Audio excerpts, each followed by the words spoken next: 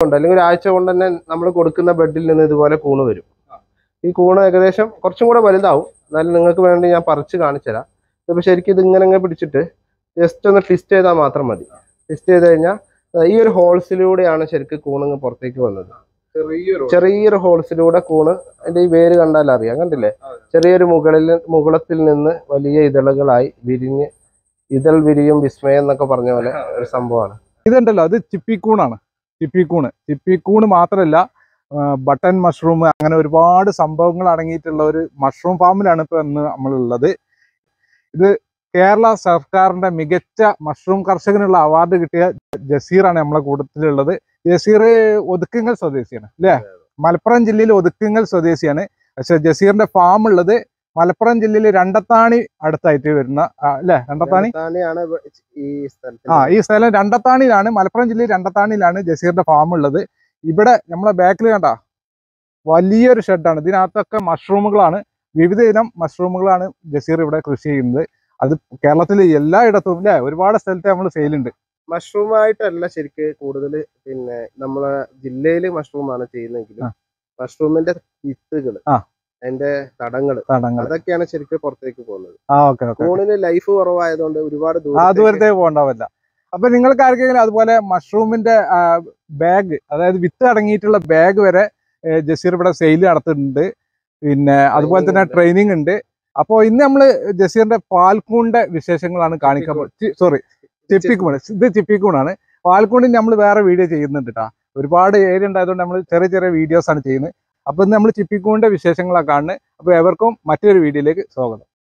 എന്റെ പേര് ജഷീറാണ് ഔഷധി മഷ്റൂം എന്നാണ് നമ്മളെ ബ്രാൻഡിങ് അറിയപ്പെടുന്നത്. നമ്മൾ നിലവിൽ മൂന്നാൽ ഐറ്റം മഷ്റൂം ചെയ്യുന്നുണ്ട്. ചിപ്പിക്കൂണ് പാൽക്കൂണ്. ഇപ്പൊ നമ്മൾ ചെയ്യുന്നത് ബട്ടർ മഷ്റൂം നേരത്തെ കണ്ടിട്ടുണ്ട്. അതുപോലെ മിൽക്കി കണ്ടിട്ടുണ്ട്. ഇതിപ്പോ ചിപ്പിക്കൂണാണ്. ഓയിസ്റ്റർ മഷ്റൂം എന്ന് പറയും. അപ്പൊ ചിപ്പിക്കൂണിന്റെ ഒരു ഡാർക്ക് റൂം വിത്ത് പിന്നെ കൂണ് വരുന്നതും കൂടെ ആയിട്ടുള്ള ഒരു സ്ഥലമാണ്. ശരിക്ക് ചിപ്പിക്കൂണ് വരാനുള്ള ഒരു ടെമ്പറേച്ചറും വ്യത്യസ്തമാണ്. അതിപ്പോ കൂണ് കണ്ടില്ലേ? ഈ ചിപ്പിക്കൂണിൽ തന്നെ മറ്റൊരു വിഭാഗമാണത്. ഒരു എച്ച് യു ഗ്രേ എന്ന് പറയുന്ന ഒരു ടൈപ്പാണ് നമുക്ക് ആ കുറച്ചും കൂടെ വലുതായിട്ടാണ് നമ്മൾ എടുക്കുക അതിന്റെ ചെറിയ പ്രായമാണ്. വിളവെടുപ്പിന് ആ കുറച്ചും കൂടെ ആയി കുറച്ചും കൂടെ വലുതാവും അത്. ഇനി വലുതാവാ? അത് കുറച്ചും കൂടെ ഒരു four hundred five hundred gram വരെ തൂക്കം വരും അത്. അരക്കിലൂടെ മുകളിൽ തൂക്കം വരും. കായ്ക്കൽ തുടങ്ങിയത്. ഇതാണ് ഒരു കൂൺ തടം എന്ന് പറയുന്നത്. നമുക്ക് ഇതാണ് ഒരു കൂൺ തടം എന്ന് പറയുന്നത്. ഇത് ഏകദേശം ഈ വൈറ്റ് കാണുന്നതാണ് അതിന്റെ സ്പോട്ട് ഇതിങ്ങനെ വളർന്ന് വളർന്ന് വലുതായി. ഏകദേശം ഇങ്ങനെ ആയി. ഈ ഒരു ലെവലിലേക്ക് കൂണ് വളർന്നു വന്ന് പിന്നെ അതിൽ നിന്ന് മൊട്ട് വന്ന് പിറ്റേ ദിവസം ഇതുപോലെ വളർന്ന് വലുതാവുമ്പോഴാണ് നമ്മൾ പറിക്കുക ഓടിച്ചു പറഞ്ഞാണ്. ഒരുപാട് പഠിക്കാണ്ട് ഒന്നാമത് ഈ കൂൺ കൃഷിനെ കുറിച്ച് ഒരുപാട് നമ്മൾ അറിഞ്ഞിരിക്കേണ്ട കാര്യങ്ങളുണ്ട് അല്ലേ? അതെ അതെ. അപ്പൊ പിന്നെ സാധാരണക്കാർക്ക് അതായത് ഇതിനെക്കുറിച്ച് കൂടുതൽ അറിയാത്ത ആളുകൾക്ക് ഞാൻ ഈ ബെഡ് സെറ്റ് ചെയ്ത് കൊടുക്കും. അപ്പൊ അവർക്ക് അവരെ വീട്ടിൽ നിന്ന് തന്നെ ഇതുപോലെ കൂണ് പറിച്ച് കഴിക്കാൻ പറ്റും. വീട്ടിലെ ഒരു റൂമിലൊക്കെ വെച്ച് നമുക്ക് കൃഷി ചെയ്യാൻ പറ്റും. പക്ഷെ ഈ ഒരു പ്രോസസ്സിങ് ഇങ്ങനെ വൈറ്റ് ആയി വരുന്ന ഒരു പ്രോസസ്സിങ്ങിലാണ് കുറച്ച് പണിയുള്ളത്. ഡാർക്ക് റൂം സെറ്റ് ചെയ്തതും വിത്തിടുന്നതും ഇത് തിളപ്പിക്കുന്നതുമായിട്ടുള്ള പ്രോസസ്സുകളൊക്കെ കഴിഞ്ഞതിന് ശേഷം അതിന് ബുദ്ധിമുട്ടുള്ള എല്ലാ സ്റ്റേജും കഴിഞ്ഞിട്ട് ആളുകൾക്ക് ഇങ്ങനെ കൊണ്ടു കൊടുക്കും. അവർ പത്ത് ഇരുപത് ബെഡൊക്കെ വാങ്ങി അവരെ വീട്ടിൽ കൃഷി ചെയ്യുന്ന ഒരുപാട് ആളുകളുണ്ട്. അപ്പൊ സ്വന്തം വീട്ടിൽ നമുക്ക് ആവശ്യമുള്ളത് നമ്മൾ ആവശ്യത്തിന് കഴിക്കാം. കുറച്ച് എക്സ്ട്രാ ഉള്ളത് നമുക്ക് വേണമെങ്കിൽ ബന്ധത്തിലോ അല്ലെങ്കിൽ അടുത്തുള്ള കടകളിലൊക്കെ വിറ്റ് നമുക്ക് വരുമാന മാർഗം കൂടി കണ്ടെത്താം.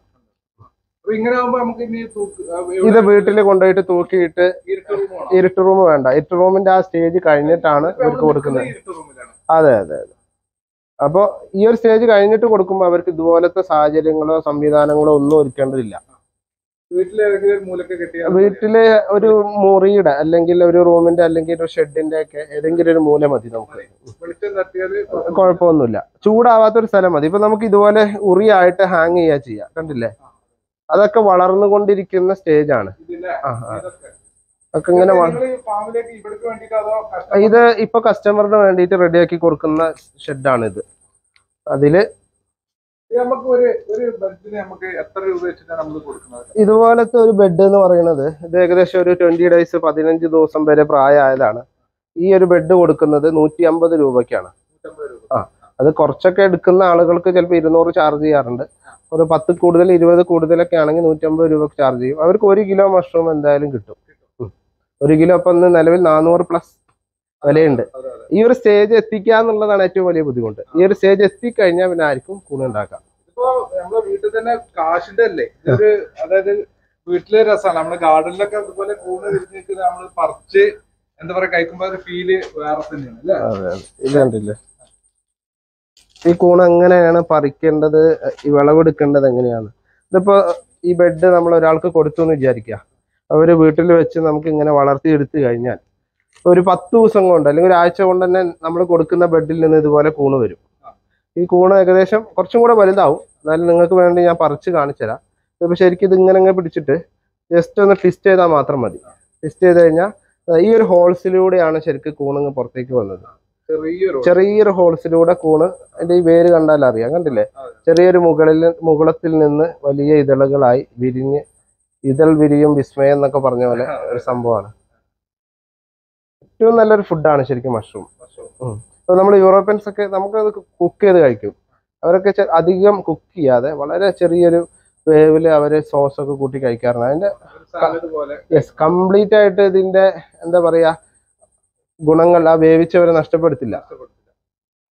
അത് യൂറോപ്യൻസ് അതെ അതെ. കുറച്ച് കുറച്ചും കൂടെ ബെറ്റർ അതാണ്. പക്ഷെ നമുക്കത് ഇഷ്ടാവില്ല. അതുകൊണ്ട് നമ്മളിത് ചിക്കനോ അല്ലെങ്കിൽ ബട്ടണോ ഒക്കെ വരട്ടുന്ന പോലെ അല്ലെങ്കിൽ ഫ്രൈ ആക്കുന്ന പോലെ ഒക്കെ വെച്ച് കഴിക്കും.